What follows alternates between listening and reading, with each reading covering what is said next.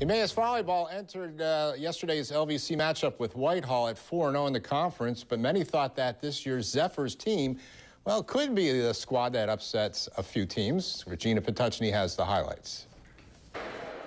Whitehall stands at 3 and 1 in the LVC and looking to serve Emmaus their first dual meet loss of the season. The Green Hornets will take game one, though it's close 25 21.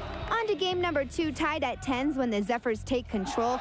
Ryan Pearl will do a good job of serving seven straight, while the home team's defensive and offensive attack was right behind him. Mike Hanna will jump up for a huge block to end game number two by a score of 25-15. With the match locked at one game apiece, number three can be crucial. Emmaus leads off the start, but once again it will be Whitehall's front line who helps take over. Green Hornet Travis Mincer was successful at the net as well well, slamming down several kills that keeps his team in the game.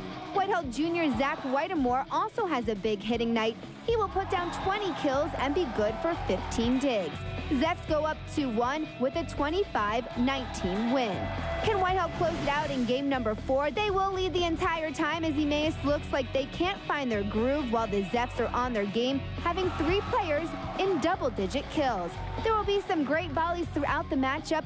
White Whitehall prevails, though, in four. Final of game number four, 25-14. It's been a long time since we beat these guys. Uh, they came out and played us tough in the beginning. They, they beat us in game one. They were just better than we were in the game one. Um, then we came out the next games and uh, we got mentally focused and uh, we played tough. Definitely gives us more confidence uh, to beat a team like a man. It's a quality team, so um, we're going to take that, uh, work harder practice, and keep doing what we're doing.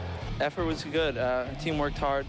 Uh, other than that, that's all it took, and worry about ourselves on our side of the net. It was a big win, but uh, we're looking forward to other things this season more than just beating one team in, particular.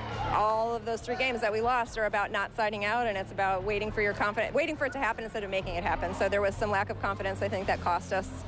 Um, we weren't ready to push ourselves to that pace and to that level yet, so we have to grow into that. Emmaus looks to rebound after this loss. They're in a tournament on Saturday in Warwick. Then they're back in LVC action. It's a big one on Tuesday versus Parkland. While the Zephyrs will travel to Dieruff on Tuesday as they play in the league. On the scene from Whitehall High School, Regina Patuchny, 2 Sports.